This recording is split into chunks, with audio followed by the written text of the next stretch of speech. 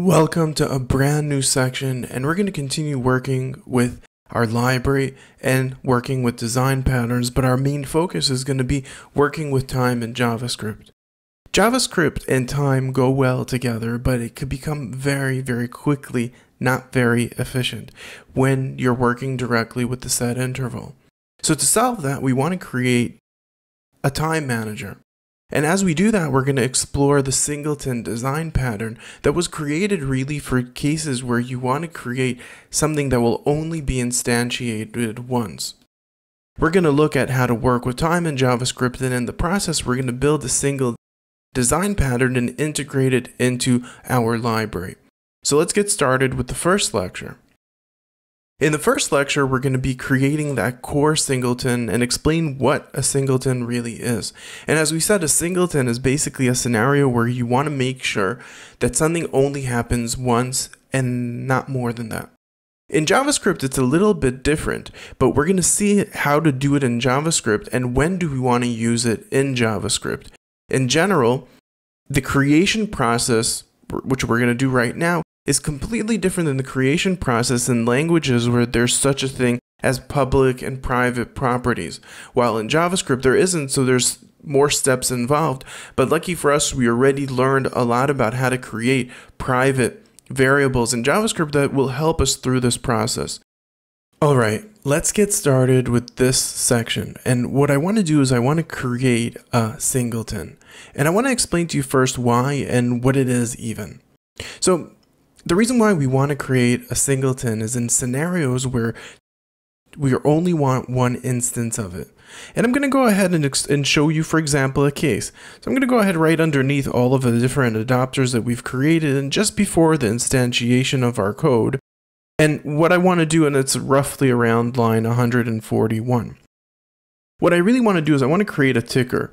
And the idea here is really, I want to create basically a way for our application to have a timer without using directly set interval.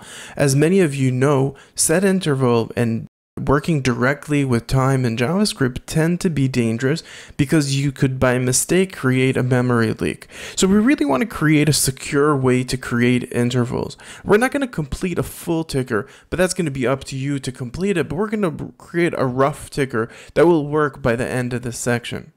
So what I want to do is I want to go ahead and very strategically create another anonymous function that self-instantiates. Remember that big, big function that we're putting everything inside? So it's going to be very similar to that big structure. Let's go ahead and do it. So I'm just going to go ahead and create a function. It's not going to have a name. I'm going to open and close it, and it's going to have an anonymous name as we assign it to the ticker. The next thing that I'm going to do is I'm going to go ahead and open and close a round bracket around it and then instantiate it. Literally executing that function and making sure that whatever is returned to there will come back into our ticker. Now, the idea here is basically to create that a way for us to create private methods. If you recall, just like when we created not the adapters, when we were creating the facade, remember that we created the facade as a function. And inside of that function, we placed all of the different properties and methods and elements that we wanted to basically hide away from the user. And then we only returned the actual things that we want the user to have access to. And that way, we avoided the need to have any global variables. The idea here is very similar. So as we create our singleton, our singleton is going to work very similarly to the way a query facade worked, but only be able to create more than one instance. So let's go ahead and continue. So in our pseudo environment right here, we could go ahead and start creating our structures. And I'm going to go ahead and just create here a variable, and I'm going to call it instance. And the idea here is to have basically one instance to the element that we're creating and not more than that. I'm going to go ahead and create another function. And really, this function could be any name. that I'm going to call it just create because with it, we're going to create our singleton or our object or our element that we actually want to work with. And now inside of this create zone, I'm going to basically create all of the different properties and methods. All of the private ones basically creating all the elements that I want to create. Once I've done that, I could then instantiate our application and literally just go ahead and return in this create method what we actually want to return. So if I'm going to go ahead here, and this is going to be a little bit generic in this lesson, but don't worry because in the following lecture, we're going to go ahead and actually implement this. But what I'm going to do basically inside of our structure here is we're going to basically return an object, and in that object, define the different things that we want to return. So let's go ahead and think, what type of things would we definitely want to return for an interval? And in our case, probably something that we'd want to do is add a ticker, or I'm just going to call it add. And for the add method, I'm just going to refer it to the method that we're going to create inside of here, which is going to be called add. And I'm going to go ahead here and I'll add the actual signature of this method as we create it. But when you think about it, the signature would probably be an interval of how often does it happen. Interval. It's also going to have how many times it happens. And it's also going to have a callback method. Last but not least, we could add a name or not. So I'm going to go ahead. I'm not going to add a name, but really is really to to be able to identify what is the name of that interval. So then later on, if we want to create also a remove method, enabling us to remove a different a specific callback, we would have a name for it. All right, so we created the add method. There's really nothing inside of here, but what we did is we created a function that's called create that stores inside of it all these different methods. That means nothing else but this function has access to it. Or the object that we're sending through will have access to the different methods that we decide to send with it. Next step that we want to do once we've created the structure is we also want to return to the create itself. What does the create itself return? In our case, the create itself returns this, but what does the actual instance return? So in our case, this anonymous function, what do we return from that anonymous function? What's actually going to be inside of this ticker area? In this case, what we really want to do is we want to return a new object and that object is going to have a property that's called getInstance. Now, getInstance is just a common name which is not mandatory, but it's a common name in a lot of other programming languages that is related to a singleton. So whenever someone sees getInstance, they know it's a singleton.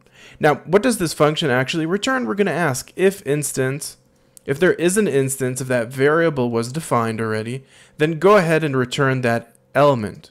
If it is not, let's go ahead and create it.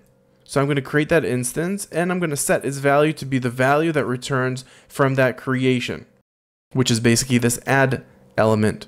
Once we know that it's created, I could go ahead and return the return that instance.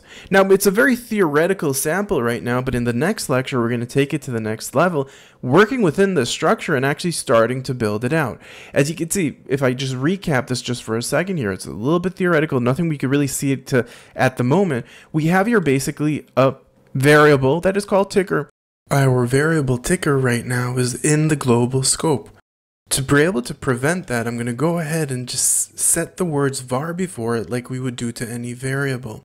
If we don't do that, then our ticker will be part of the global scope, kind of defeating the whole point of hiding everything inside of our library that we've been doing so far. It's not in the global scope because we're hiding it everything inside of that, that scope that we've created of this function. So it's inside of our zone, inside of our access of our application. Only our application has access to it. All right.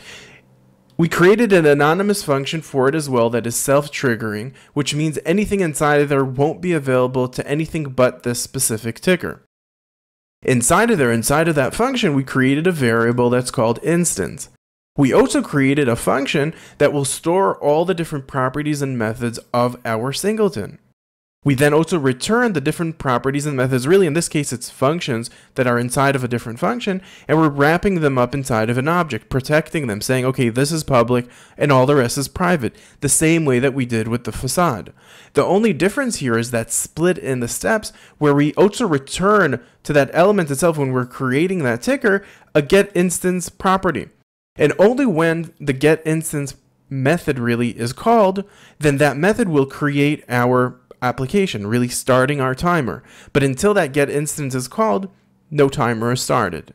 So the idea behind here is basically we're slowing down the need to, if we have an interval and this interval is going to run once a second, but it's only going to run once uh, in a specific point in time. And we don't want to overload our system. So what we're doing here is we're preparing all the legwork so when the moment comes and the user goes and creates, and I'm just going to go ahead here right under this ticker, and the user goes to ticker and says get instance.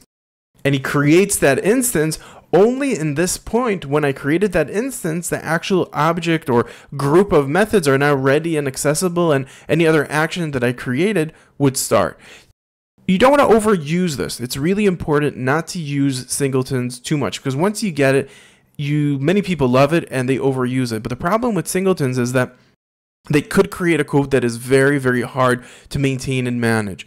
But it is a really powerful solution in a scenario such as this one, where we know there will always be only one interval, there's only one structure, we don't want to mix things up, we don't want different objects and classes and libraries and elements having different intervals, we have only one global interval, we're keeping it very generic, very appropriate, we're not going inside and manipulating an object directly. We're keeping it relatively anonymous, where this object is going to be basically a utility object.